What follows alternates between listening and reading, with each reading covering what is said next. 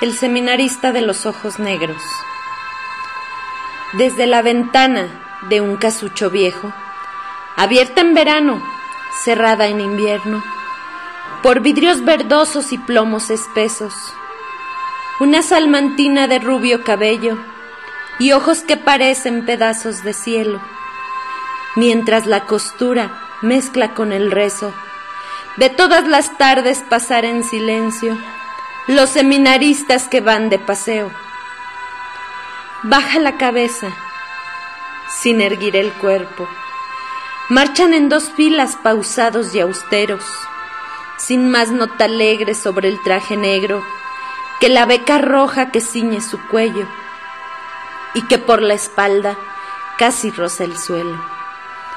Un seminarista entre todos ellos marcha siempre erguido, con aire resuelto la negra sotana dibuja su cuerpo, gallardo y airoso, flexible y esbelto.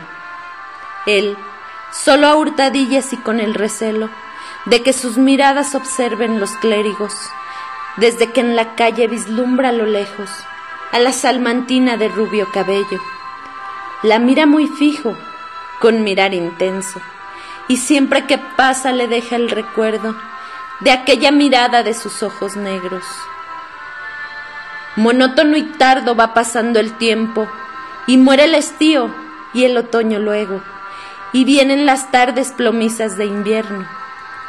Desde la ventana del casucho viejo, siempre sola y triste, rezando y cosiendo, una salmantina de rubio cabello ve todas las tardes pasar en silencio los seminaristas que van de paseo.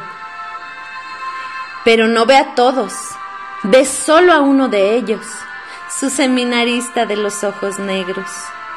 Cada vez que pasa gallardo y esbelto, observa a la niña que pide aquel cuerpo, en vez de sotanas marciales arreos.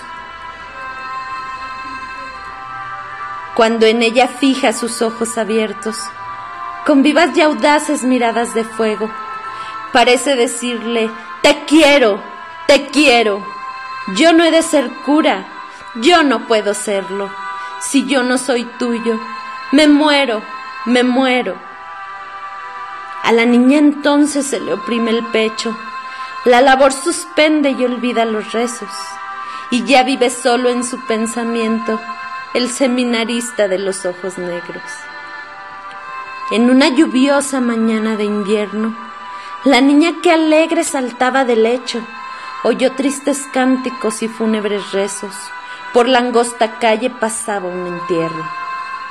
Un seminarista sin duda era el muerto, pues cuatro llevaban en hombros el féretro, con la beca roja por cima cubierto y sobre la beca el bonete negro.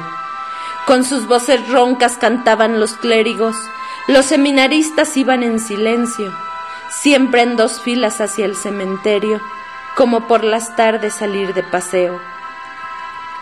La niña angustiada miraba el cortejo, los conoce a todos a fuerza de verlos. Tan solo, tan solo faltaba entre ellos su seminarista de los ojos negros. Corriendo los años, pasó mucho tiempo, y allá en la ventana del casucho viejo, una pobre anciana de blancos cabellos, con la tez rugosa y encorvada el cuerpo, mientras la costura mezcla con el rezo. Ve todas las tardes pasar en silencio los seminaristas que van de paseo. La labor suspende, los mira y al verlos, sus ojos ya tristes y muertos vierten silenciosas lágrimas de hielo. Sola, vieja y triste, aún guarda el recuerdo del seminarista